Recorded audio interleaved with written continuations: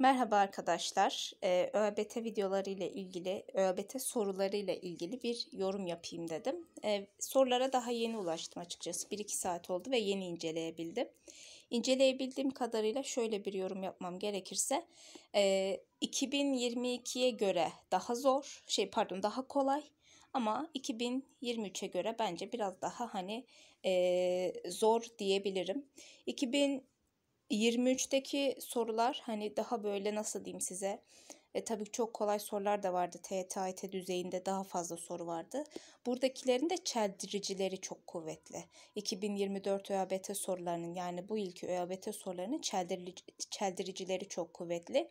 Mesela soruyu okuyorsunuz. Diyorsunuz ki cevap bu. Bir bakıyorsunuz farklı bir şey. Aa ben bunu buradan gözden dikkatten kaçırmışım diyorsunuz. Aslında 2023'te de biraz bu vardı biliyor musunuz? Hani biz hep kolay kolay deyip geçtik ama 2023'te de çeldiriciler kuvvetliydi. 2024'te de çeldiriciler kuvvetli geldi bana.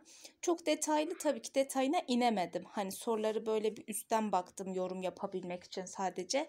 Ama sorular e, mesela benim ÖABT videolarımı izleyen, dinleyen bir kişi soruların %95'ini yapardı. Yani 60 tane alan sorusu varsa bu 60 alan sorusunu bence 50'sini 55'ini rahatlıkla yapardınız. Ha, aralarda tabii ki bizim de kaçırdığımız noktalar olmuş olabilir. işte veya hani yanlış söylediğimiz şeyler olabilir. O yüzden de hakkınızı da helal edin eğer öyle bir şey olduysa veya anlatmadığımız, atladığımız kısımlar olabilir arkadaşlar.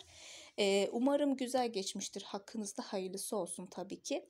Bunların sorularını çözümünü yapacağım tabii ama e, biraz zaman alacak. Şu an tatildeyim. Evime döndüğüm zaman e, soru çözümlerini de yapacağım. Eğer bir sorunuz olursa bu videonun altına yorum olarak yazabilirsiniz. Ben her türlü cevaplıyorum biliyorsunuz herhangi bir e, mesela bazı sorular var. E, bir tane soru aslında gözüme çarptı ama birkaç soru daha varmış sanırım. E, aşağıdakilerden hangisi diyor sadece hayvan hücrelerinde bulunur diye organellerden. Buna sentrozom cevabını vermiş. Ama biz hani sentrozomu artık sadece hayvan hücrelerinde bulunur diye kabul etmiyorduk. Çünkü basit yapılı bitkilerde de görülebiliyordu. Dolayısıyla bunu bu şekilde kabul etmiyorduk ama ÖSYM kabul etmiş sadece hayvanlarda görülür diye. Yani ÖSYM'in de bazen kendiyle ikileme düştüğü durumlar olabiliyor arkadaşlar. Dolayısıyla biz onun nabzına göre tabii ki hareket ediyoruz ama bu da bizi tabii ki yoruyor. Biyolojide aslında şöyle bir durum var. Hani bu sene işte hayvanlarda sadece hayvanlarda bulunan organel sentrozom olarak kabul ediyor. Seneye bunu kabul etmiyor. Dolayısıyla biz de hani ne diyeceğimizi şaşırıyoruz.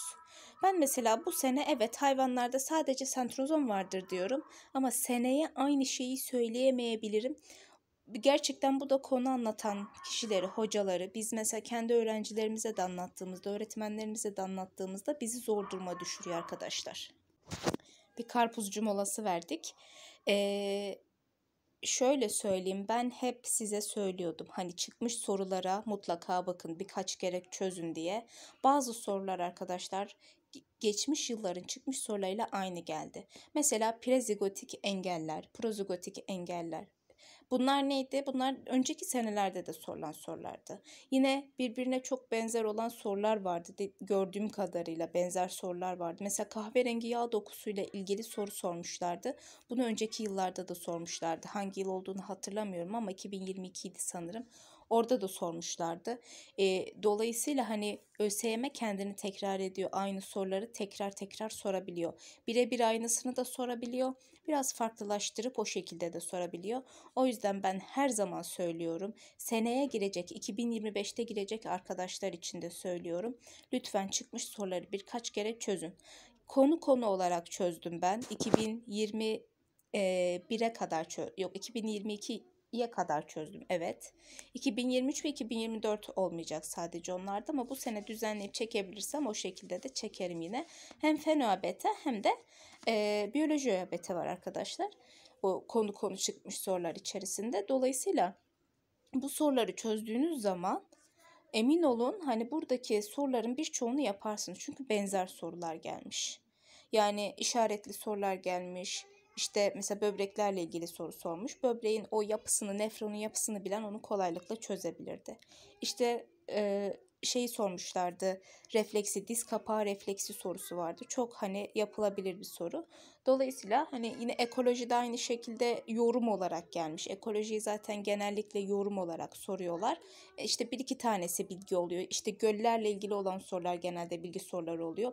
Distrofik göl, oligotrofik göl gibi bunlar genelde bilgi soruları oluyor.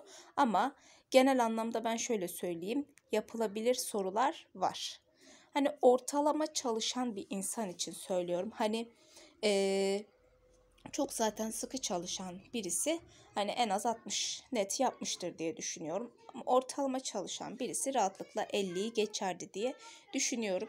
Bazılarınız işte son 3 hafta çalışmış. Bazılarınız hani hiç çalışamadan girdi. Dolayısıyla hani bu konuda lütfen sıkıntı yaşamayın. Kendinize dert etmeyin. Olabilir. Sınav anında mesela çok çalışırsınız. Sınav anında öyle bir şey olur ki sınav anında yapamazsınız.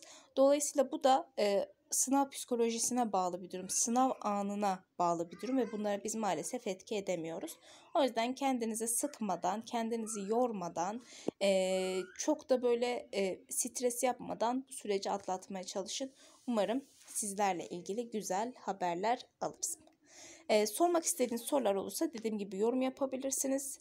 Ee, Instagram'dan da yazabilirsiniz arkadaşlar. Instagram'da açılacakmış herhalde. Ee, oradan da cevaplıyorum sorularınızı. Ee, sonraki videolarda görüşmek üzere diyelim. Hoşçakalın.